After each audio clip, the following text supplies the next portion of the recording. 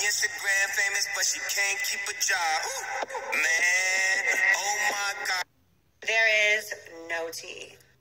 You guys know there is so many lies and rumors and beauty drama and whatever constantly being thrown out there. And as we all know, I rarely ever speak on it. Literally ever.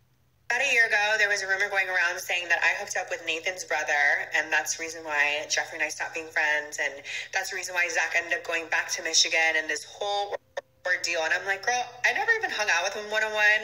The only time I ever saw him was at like my birthday party, and probably like another time going to the movies or something.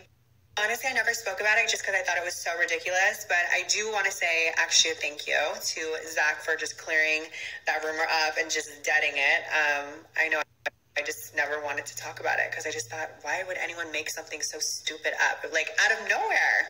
Honestly, this year I've learned that no matter what you do, no matter what you say, people are always going to have an opinion about you. People are always going to say you said this and said that and whatever. So all you have to do is really be yourself and let it all play out, and the truth always will come out.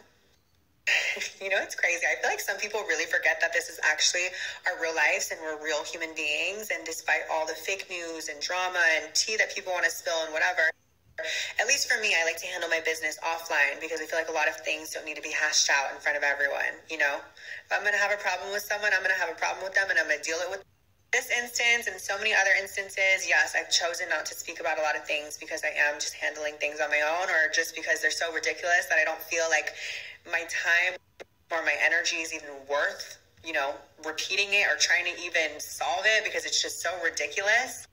Sweetie, I'll forever be unbothered.